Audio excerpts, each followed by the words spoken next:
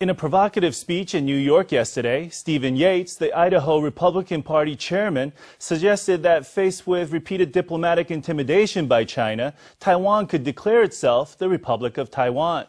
The New Power Party and World United Formosans for Independence have commented in response that amending the Referendum Act is a more realistic measure, following which a referendum might provide a leg legitimate basis for a name change.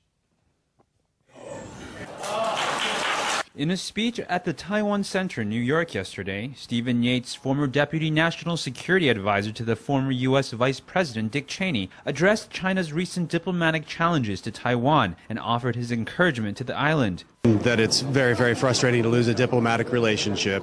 Uh, I personally don't think that the people of Taiwan should be too sad.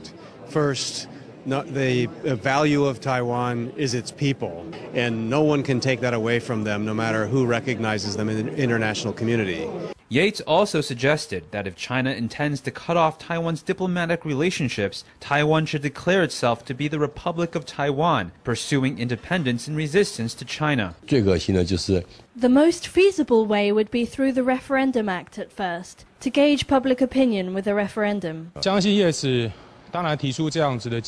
I believe there are aspects of Mr. Yates' proposal that are worth referring to, but the position of the New Power Party has always been that we must pass the amendment to the Referendum Act as soon as possible, and we must initiate the constitutional reform Taiwan needs as soon as possible.